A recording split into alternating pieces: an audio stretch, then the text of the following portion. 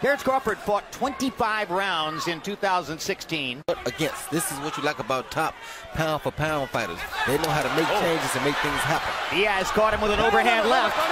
And he caught Diaz with an overhand left as well. The night that he stepped forward toward prominence in the sport. Yep, and he just landed a beautiful left hand on Diaz again. He did, and Crawford is usually hit earlier in a fight a little more cleanly. Right eye from that left hand right there. When Crawford is in the far right, look out Diaz in that corner. Oh, Diaz with another good little right hook on he the got in a good one.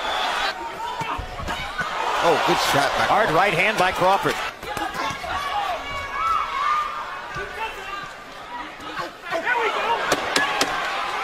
Uppercuts with both hands by Crawford. There's another one. Just missing over the top with the left hand. Another right hand uppercut on the chin by Terence Crawford. Crawford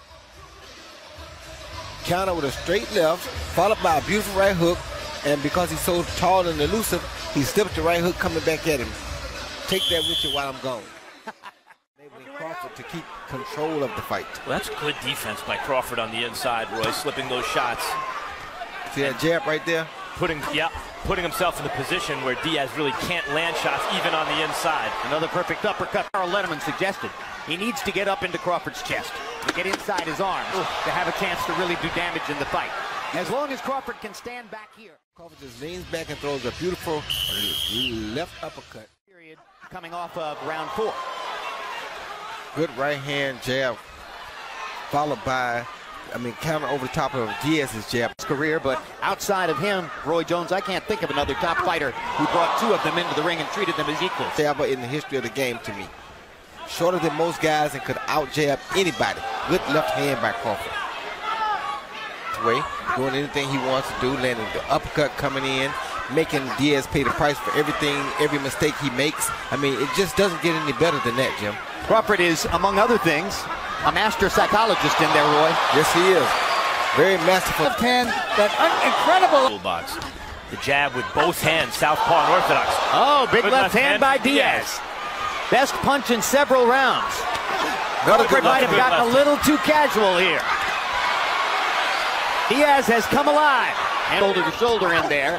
Diaz with the left and Crawford with another sizzling right hook. A sizzling body shot. That's what caused the oh, problem. Oh, those body shots from Crawford. Oh, good left hand counter by Crawford.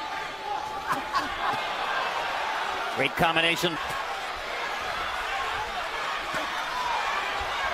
Oh, that hurt him. That yep. hurt Diaz bad. Yep. Good body shot by Crawford.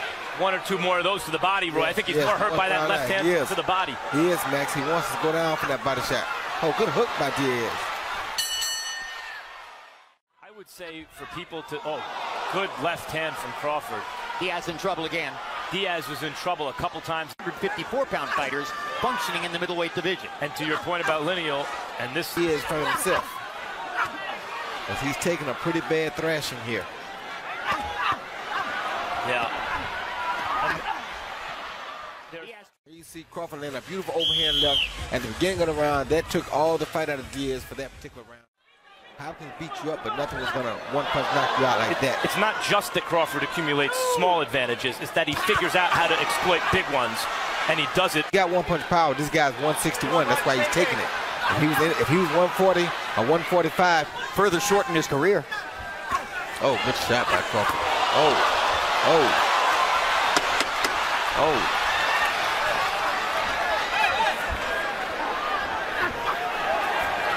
Felix Diaz is one game fighter, though.